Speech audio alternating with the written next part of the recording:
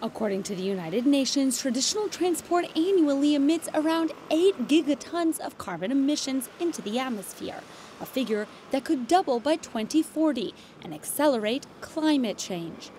One state promoting initiatives to reduce air pollution is the smallest in the world, the Vatican.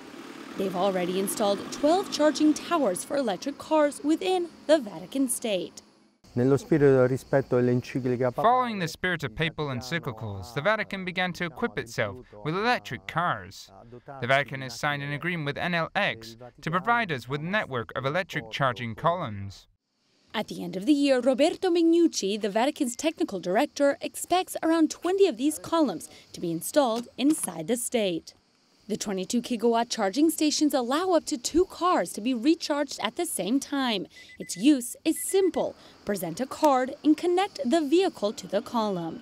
Questo progetto è molto importante per noi. This is a very important initiative. It is the forerunner of a great project that includes the use of electric cars throughout the Vatican, only electric. Thus, very soon, Pope Francis could be riding around in an electric Pope Mobile, like the one he used on his trip to Colombia.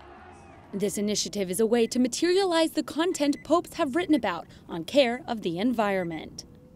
Giovanni Paolo II ha John Paul II already referred to the care of creation, a message ratified by Pope Benedict XVI, and finishing with Laudato Si. We begin to combine all the works.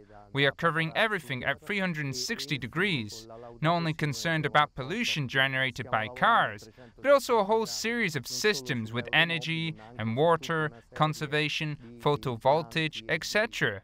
For many, these initiatives in a territory of 108 acres does not represent a significant impact. However, like a small drop of water in the middle of the ocean, the Vatican wants to be a pioneer among the countries of the world.